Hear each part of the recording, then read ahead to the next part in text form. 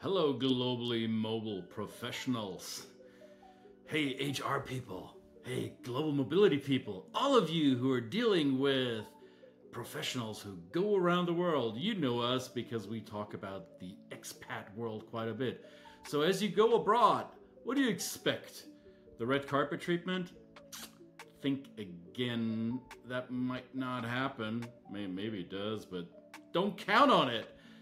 Because just because you're special and going abroad doesn't mean that the people you're going to work with on the ground at the location you're going to will be just waiting for you to arrive. There might be some myths you have been told that we're ready to poke a hole into. Let's do that. Welcome to Two Chaps, Many Cultures. In an increasingly globally connected world, it is vital to possess the essential skills of cultural intelligence. Listen along as we present the topics, tips, and strategies you can use to develop the power of cultural understanding in your personal and professional life. Here are your hosts, Christian Höferle and Brett Parry. Welcome back, everybody, to Two Chaps, Many Cultures, the only show, the number one show on the globe for, I don't know, where too much culture is barely enough. And that's us, and um, we're rolling out the red carpet for you. But that may not always be the case. Hey, mate, how are you today? Bloody fantastic. Red carpets. They're only red because so many people who walked it before you have been slain on the shores of expat conquest. Doesn't work like that, people. And we've seen this in our work for many, many times and in many different scenarios with the clients that we work with. There is this expectation I'm going abroad, it will be fantastic. My company is supporting our move. There is all this logistical help. Hey, we're getting culturally prepared because Brett and Christian talked to us about the changes in behavior we are about to experience when we get there. Fantastic. Good on you, as Brett might say. And much success to you in your new location. That's what we're here. Now, there's one factor you may have not considered as much as you probably should. Which would that be, Brett? Well, of course, if you're the basic thing was that, as Christian says, we might provide you, others might provide you with cultural training, cultural awareness. But of course, uh, the assumption that you're just coming to a new country, and uh, that uh, you know, another part is that you might assume that your host country nationals are going to open up the the red carpet, as we said. Um, they're not going to slay you, hopefully. No, that's not the case at all. They're certainly going to be welcoming and they're going to be uh, enjoying your company. But there are certain myths that, uh, that we think that might uh, apply here, and that might be that they're just waiting for you. Nothing has been done before you turn up. Uh, it might be that um, they are expected to give you support, drop everything they do, and and just be at your beck and call, at least for the first few months, so that they can support you. You may also just assume that they've also got enough cultural knowledge and understanding already about you as a person, and that's what we're talking about, I guess. Uh, the opportunity to not only learn yourself, but understand what learning, what cultural learning has been done for the host people that you're about to start engaging with. And uh, they, they deserve, they are deserving of just as much support as anybody else, too. Yeah. And I've worked with corporations that fall on both ends of this spectrum as we talk about this. I've worked for, for organizations where only the expat population received cultural preparation for their workplace adjustment. And I think it showed in the results of the teams that this mobility, talent mobility created in that organization. And I've worked for other organizations where not only did the company provide training for the expats who went on assignment, it also prepared the receiving locals in the host location for the arrival of their new colleagues from abroad. And that preparation can take on various forms. And we can argue about which might be the best form for doing that. I think the, the most important factor is that the organization, that the company took some time to think about this and, and realize that it's not only the expats and their household members that will go through changes. It's also the receiving team who will have to incorporate a new team member, and it's just a, a different game than um, hiring somebody locally to augment the team. No, there's somebody coming from abroad who comes with a set of expectations, and maybe the host country nationals also have a set of expectations in that expat that may or may not pan out. Right? It's very often a mismatch of expectations in the first couple of weeks and months that lead to friction both for expats and the teams that they enter. Yeah, when we think about styles, just for example, if you're coming as a leader, as somebody who is going to be influential in a team, then you want to understand what they expect as or, or from a leader. Because you may come from a, an environment where you're more hierarchical and used to uh, that top-down decision making and having people kind of directly report to you uh, without any lateral move at all and you might then be coming into an environment where it's very flat and right. you're expected to engage with all kinds of people at different levels of the organization and some people might just bypass you at certain stages so being comfortable with that and understanding that if you bring your style without knowledge without understanding what your style is they're going to be very lost uh, pretty quick you know and you cause friction you cause unease you also if it's a a, a risk averse culture, you also might uh, absolutely be implying or applying more risk than they, they're comfortable with. And I mean, obviously, if you're listening to this and you are an expat yourself, most likely you're not the type of team member that I'm about to describe now.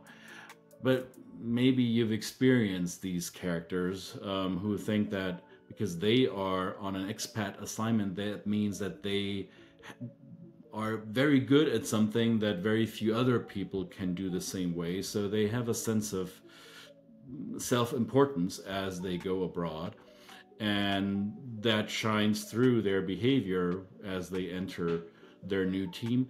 That is exactly what the host country nationals are well, how do I say this politely? Not waiting for, right? Um, they, they, they've been doing stuff before you came, right? They, they were hired for a reason. They were not just sitting idly waiting for you to arrive to show them how it's really done.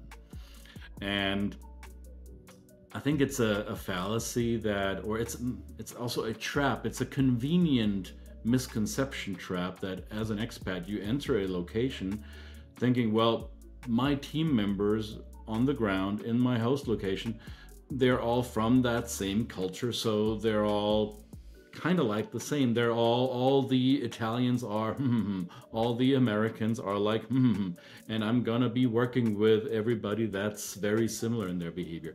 And the truth couldn't be much different than that, right? Because you will work with people who may be repats your home country nationals may have been on an expat assignment 10 years ago to your country, perhaps. And now they're back in their home country location and they're they're probably going to be your best ally if you only took time to realize. There might be people who speak multiple languages at your host location. They might be your best interpreters, your best team members to relay information out to the greater team.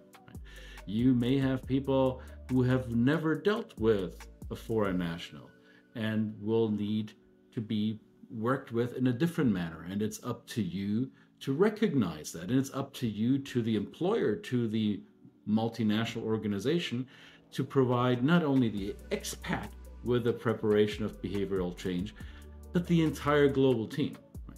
And we've seen the best results in our work with companies who apply this information that we share with our clients on multiple ends of the team, not just the ones that they're sending abroad. So what can we do about this? Well, obviously the cultural training that we might provide you before you leave certainly is one aspect of it, but then understand as you're entering, you may actually have to be that promoter of cultural training or cultural understanding for your host country nationals because you can then become a transmitter, uh, a translator of cultural awareness and encouraging that if it's not provided automatically by the company that or the local location you're in you could be the one to start that and there's another thing to that is that if you do come with humility to your host country and already with the expectation that I am here to learn as much as I am here to teach. And we can both as a team, uh, as a global group, work together to understand what cultural, cultural differences and dynamics are at work in the team. Right.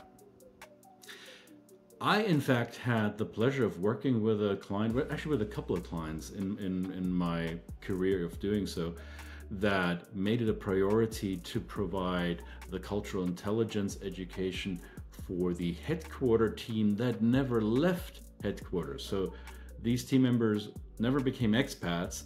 They never received expats. They were the headquarter workers or team members. And they did have Zoom, Microsoft Teams, email, phone call interaction with the multiple locations around the world. And they too benefit a whole benefited a whole lot from learning about different work styles, not only their expat colleagues. And the reason why we're talking about this is because we came across an article published in Harvard Business Review not too long ago, um, written by a researcher from New Zealand whose name I might probably mispronounce, so forgive me for doing that. I think her name is Snejina Michailova and she is a professor at Auckland Business School in New Zealand. And in her article, in which she busts those common myths about expats and their home country national colleagues, she points out that for 50 studies done about work styles abroad, expat life, cultural adjustment in the global workplace, for every 50 studies around the expat world, only one study is available for how home country nationals are adjusting in a global work world. There's a, let's say, a blind spot in research about this, and she's, I think, on the cutting edge of, of, of shedding light or putting a spotlight into that blind spot, and so are we, because there that study basically sings our song. Both brett and i we've seen this happen so many times in global organizations that if the company is too myopic and focuses only on the expat services and the expat comfort and success rate and neglects the part that is the receiving part in whatever host country location, that is a missed opportunity and a, a stumbling block that you put there by design by ignoring these myths. Right? That's an astounding statistic, really. It really is. It's not a blind spot, it's a tripwire. yeah. It's like, uh, how do you expect people to receive uh, an expat, and I mean it's unfair to both sides. It really is because you're not uh, you're just not giving or setting an equal balance of uh, power. There's power involved here, especially different uh, leadership styles, power distance, and power dynamics, and you're setting a completely unbalanced expectation. So I think it's uh, you know, there should be more studies about that. Um, but the great, who, why do we need to, to, to wait for studies? We're, we're certainly empowered uh, as professionals in our organisations to take the initiative and and tell people about the importances, uh, whether it be in the talent development part of your business, whether it be in the global mobility part of your business, just organically in the operation of the team that you're working in. Surely it's got to be a it's got to be a better job done of that. And I think it's a, a natural progression from the image of the global worker, right? The expat 30, 40 years ago was the the superstar in any multinational corporation. It was the overachiever. Now in the 2020s, being on an expat assignment has become a regular uh, career building block. It you're nothing special anymore just because you're going abroad. In fact, employees in, in competitive labor markets are looking for exactly those jobs that will allow them to go on an international assignment. So the expat is not per se the the the, the special superstar any longer, right? And as we progress or as as our global work world has evolved to this, as there are so many moving pieces, moving parts, moving goods and services, it's only natural to recognize that the host country location is no longer the developing market. And I think this is where that blind spot originally came from because we sent expats into developing markets. Very often now, the what used to be developing markets are the exact markets that keep the home country headquarter afloat because maybe the domestic market isn't doing all that well and the what used to be the quote unquote developing market is now very much developed and is carrying more than its own weight. And as such home country nationals are very well established very well educated trained and in a highly competitive market themselves. So thanks for that study. Thank you for bringing that to our attention and prompting us to do a whole episode around this and if you work in a global multinational organization, let that be your warning call. It's not just the ones you send away, it's the whole global team that you want to have culture savvy, culture ready to form efficient and effective multinational, multicultural global teams. It's a whole hill of beans, as they say. And uh, we certainly look forward to hearing your comments. If you're in a team and you've been in that position where you've turned up and had certain expectations of the local nationals and some of those expectations have been challenged, we'd love to hear your experience there, to share it with the, the community that we're building here. Um, this is Two Chaps, Many Cultures, and uh, we are the number one show on the planet uh, when it comes to uh, this stuff, the show where too much culture is barely enough. Don't forget, hit the subscribe button. Um, I mean, it doesn't preclude you from commenting, um, but we'd appreciate it. And uh, listen to the we, podcast we, we, version, right? Did, did we mention the podcast? We have a podcast of this, so you don't have to look at us. You can torture only your ears, not your eyes. Absolutely. Podcasts on all of the best platforms, wherever best podcasts can be found. And uh, yeah, so um, and I, you know, we're just uh, and in the summer months here. I, I know we'd like to do this evergreen wherever you're listening to us. We're in the summer months here. I happen to be, you might notice, in an undisclosed location. Um, let this be a little bit of a hint. It may or may not be a place where you buy baguettes. Where's the fromage? I only believe you just fromage. You're giving it away. But we should have a competition, actually. Maybe, uh, where in the hell is Christian and Brett today? Well, let, us let's, let's play that game. All right, you enjoy wherever you are, undisclosed locations, and make sure you train your people right. Global mobility people. All right, any global organization, give your give your employees what they need to succeed. And with this, two chaps, many cultures. We're out for now. See you next week. See you guys. Bye.